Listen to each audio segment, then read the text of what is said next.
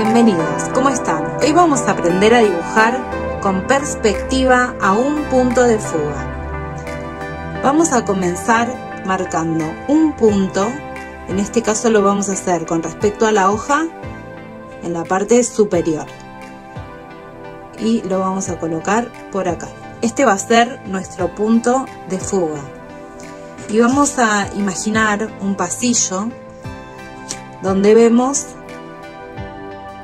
la parte de la pared posterior y vamos a usar aprovechando la hoja cuadriculada vamos a dibujar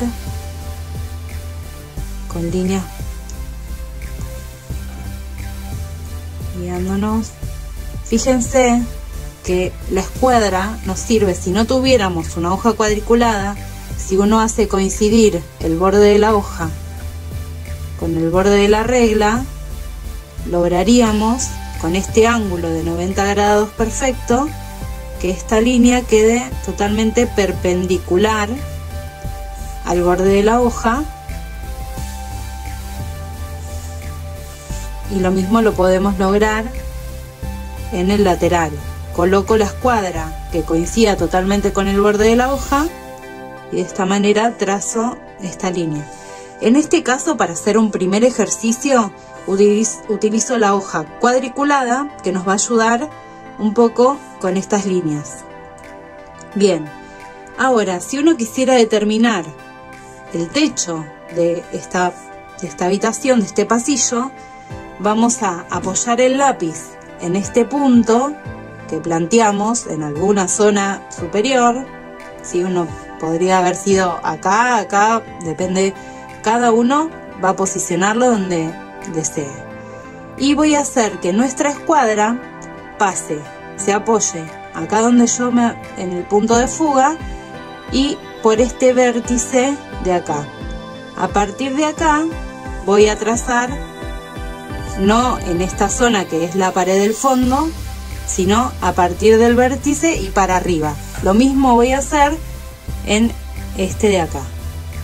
Coloco el, lápiz, me aseguro de, que llegue la escuadra, pasa por acá y a partir de acá lo trazo. Lo mismo voy a hacer con el piso. Entonces, siempre todas las líneas tienen que estar direccionadas a ese punto que se llama en perspectiva punto de fuga.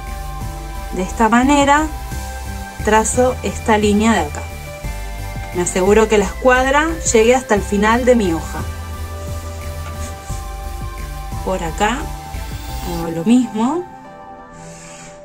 Bien, ahí ya tendría planteado lo que es el piso, las dos paredes laterales, la pared del fondo y el techo.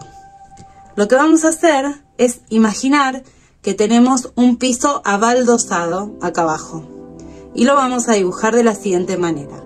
Vamos a guiarnos por estos cuadraditos que tenemos en la hoja cuadriculada, marcando justamente estos puntos. Si no tuvieran hoja cuadriculada, los pueden hacer cada 5 milímetros, marcan una línea. Lo que ahora tienen que hacer es hacer coincidir con la escuadra que pase por el punto de fuga, por cada uno de estos puntos y trasladarlo hacia abajo. De esta manera.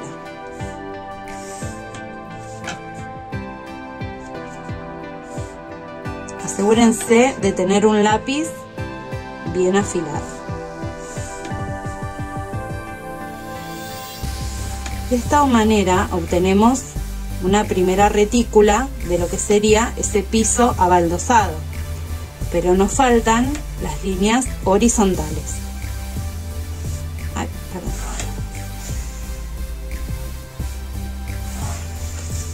Bien, ¿cómo hago las líneas horizontales? Que deberían cada vez a medida que van que se va pronunciando la profundidad deberían hacerse más angostas, en cambio acá deberían ser más anchas. Uno puede hacerlo a ojo por ejemplo, marco en esta línea de afuera. Acá voy a marcar un cuadradito. en el siguiente un cuadradito y lo que sería un milímetro, en el siguiente y así voy sumando. También puedo tomar la escuadra y marcar, por ejemplo, bueno, si en esta puse 7 milímetros, en esta le voy a poner 8. En la siguiente 9 y así voy sumando de a un milímetro cada vez.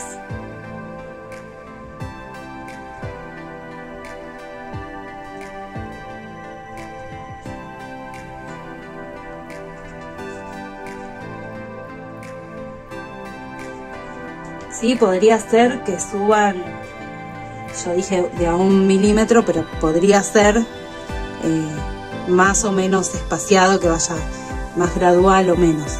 Y acá de nuevo me apoyo en el borde con la escuadra para poder trazar estas líneas horizontales que queden bien bien perpendiculares entonces coloco acá la escuadra que coincida y hago pasar por ese punto y ahí.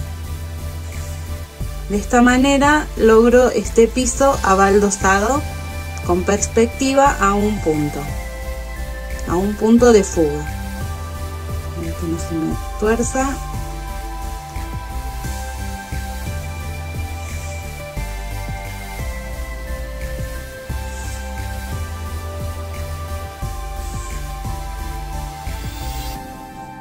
Bien, hasta ahí marqué, acá lo puedo ir continuando a ¿Qué más voy a hacer acá? Voy a imaginar una puerta en una de estas paredes.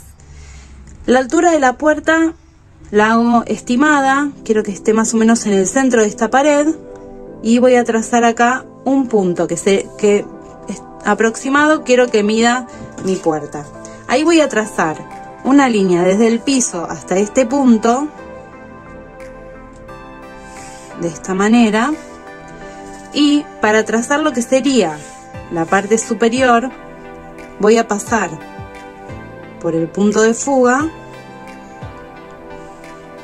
y calculo que más o menos este va a ser el ancho de mi puerta y ahora tengo que trazar hacia abajo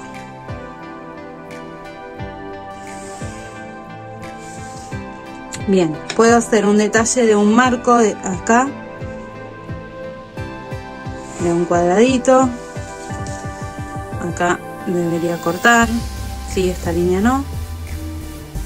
Y podemos imaginar que vemos acá una pared que corta en sentido totalmente horizontal. Puede ser con un zócalo. Acá podría continuar el piso las baldosas de esta manera.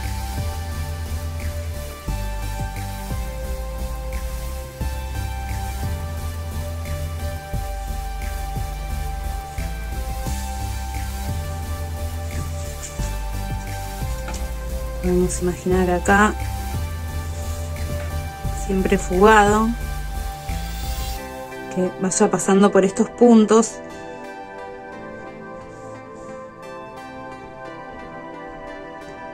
esta parte que es la pared no lo trazo, pero acá sí. En la parte de la abertura de la puerta lo voy trazando. Me voy fijando que coincida con el punto de fuga, que vaya pasando por cada uno de estos puntos, que recuerden, si no es cuadriculada la hoja, no importa, lo pueden hacer cada 5 milímetros.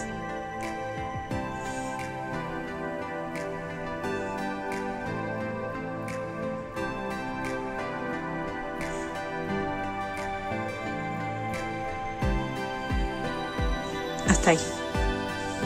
Bien, acá habíamos dicho que íbamos a plantearle como un zócalo y me lo comí.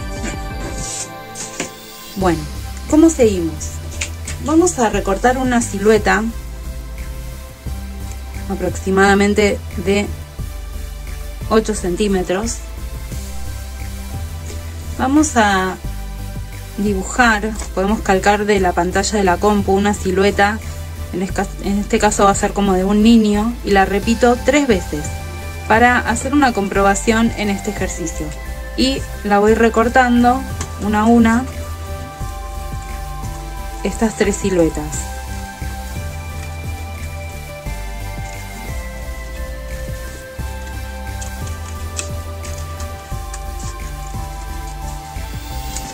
Y este trabajo en realidad pueden hacer una, recortarla y la van calcando para que les queden tres iguales. Muy bien, una vez que tengo las tres siluetas, las voy a colocar sobre la misma baldosa, la misma tira de baldosas, una en la base, otra en el medio a la altura de la puerta y otra atrás. Trato de que sea en la misma fila y que siempre los pies estén apoyados sobre alguna baldosa. No la coloco acá en el aire, la coloco pisando en, el, en la baldosa, más o menos, que no se me superpongan, pero que estén en la misma fila. ¿Sí? Nosotros sabemos que las hicimos todas iguales, todas miden exactamente lo mismo. Sin embargo, cuando la coloco en esta imagen realizada en perspectiva, puede parecernos que quizás esta es más grande que esta. ¿Sí? En verdad sabemos que son iguales, pero nuestra percepción nos puede engañar. No es lo mismo que yo las veo así, simplemente sueltas o con otra otra organización, a verlas colocadas en esta perspectiva que voy a tener otra impresión. Para ustedes, en cuanto a la escala de una figura con respecto a esta habitación, ¿cuál de estos niños tendría la escala, la proporción correcta con respecto a esta habitación? ¿El niño de acá, el del medio o el de atrás? ¿Cuál se adecua mejor a esta perspectiva?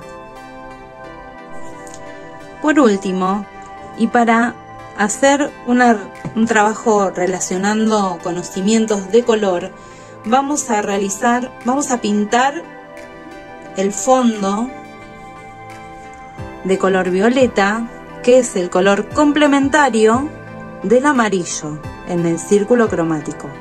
Y los personajes los vamos a pintar justamente de color amarillo para generar mayor contraste que es esto que logramos combinando, no mezclando, sino combinando en una misma imagen los colores complementarios. Vamos a pintar, en este caso estoy utilizando acuarelas. Vamos a pintar los personajes entonces amarillos y el fondo en tonos violetas. Podríamos elegir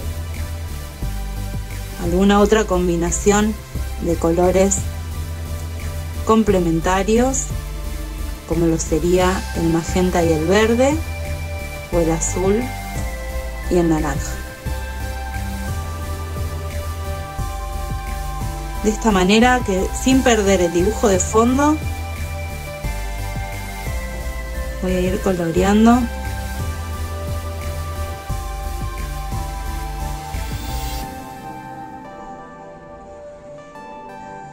Las acuarelas me permiten esa transparencia.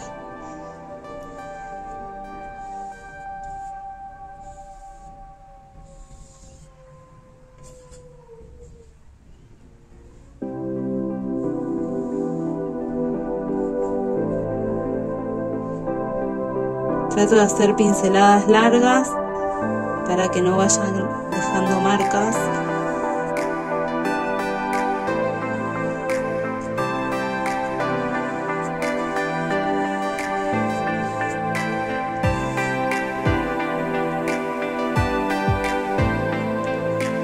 acuarela es muy cubritiva. Depende de lo que cada uno consiga. La forma de trabajar la acuarela es humedecer el pincel y trabajar la pastillita con el, pasando el pincel varias veces para obtener más intensidad. Si en el caso de ustedes no es tan intenso, van a estar agua y con el pincel, pasando más veces en la pastilla hasta que consigan la intensidad que desean. de esta manera, en este caso es un pincel chato, ven que la punta es chata, si no podría, digamos podemos encontrar pinceles redondos o chatos, son los más conocidos. Bien, y ahí vamos completando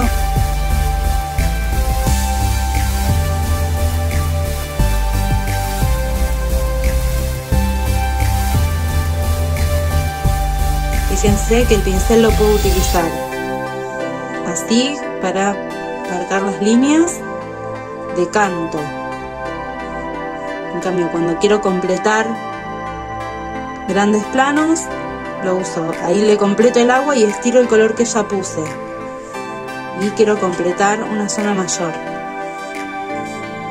Yo no lo hice, pero está bueno si usan acuarela, encintar el papel a un soporte, un cartón, una madera, lo que encuentren. De esta manera también, al ser una hoja un poco fina, de poco gramaje, van a conseguir que no se les arquee en el secado. Si no es muy posible que esta hoja después quede con panza, digamos, en, en partes. Bien. Y la composición final entonces